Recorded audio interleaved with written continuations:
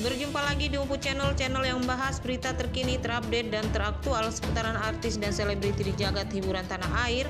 Namun sebelum kalian melanjutkan video ini, jangan lupa untuk like, komen, dan subscribe agar channel ini bisa berkembang dan memberikan informasi-informasi terbaru dan terpercaya.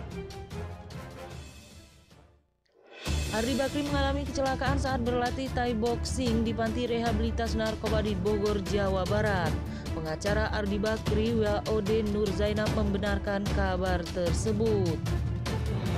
Dihubungi awak media lewat telepon Minggu 15 Agustus 2021, WOD mengaku sedang menuju ke tempat rehabilitas untuk bertemu sejumlah saksi saat insiden itu terjadi.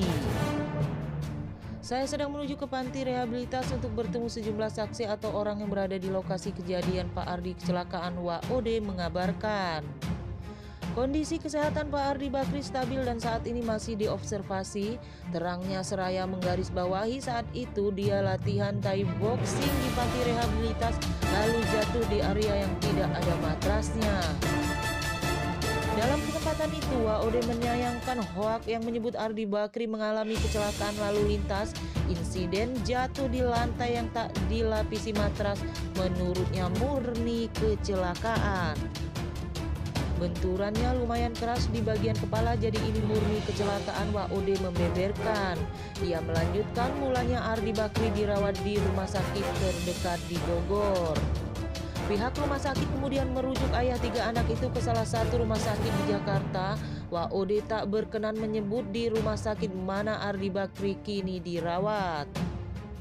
Kabar Ardi Bakri mengalami kecelakaan saat berlatih Thai boxing menjadi konsumsi publik setelah diwartawankan sejumlah media daring nasional Minggu 15 Agustus 2021 pagi.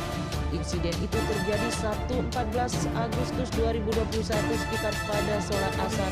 Bapak Ardi melakukan olahraga boxing di panti rehabilitas Beber WOD ketika ditanya para jurnalis.